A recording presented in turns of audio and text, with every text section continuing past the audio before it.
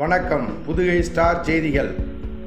பொன்னமராவதியில் இன்று விநாயகர் சதுர்த்தி விழாவிற்கு தமிழக அரசு தடை விதித்திருப்பதை கண்டித்து சாமியிடம் முறையிடும் போராட்டம் நடைபெற்றது.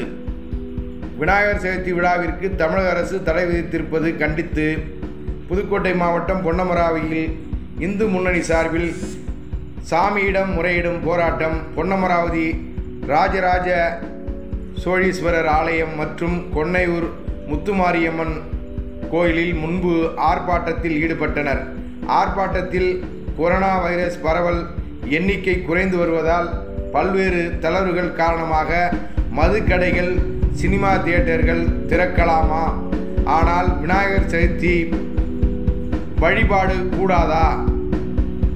பக்ரித் தெருவில் தொழுகை வேளாண்கண்ணி தெருவில் ஊர்வலம் விநாயகர் சதுர்த்திக்கு ஊர்வலம் இல்லையா?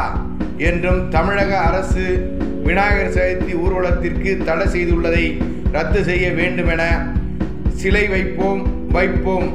சிறைக்கு சென்றாலும் சிலை வைப்போம்.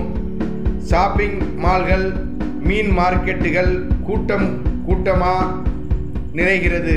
ஆனால் விநாயகர் சதுர்த்திக்கு மட்டும் தடை. பள்ளி கல்லூரி இயங்குவது சரி. அவர்களது வீட்டில் விநாயகர் சதுர்த்தி ஊர்வலத்திற்கு தடையா?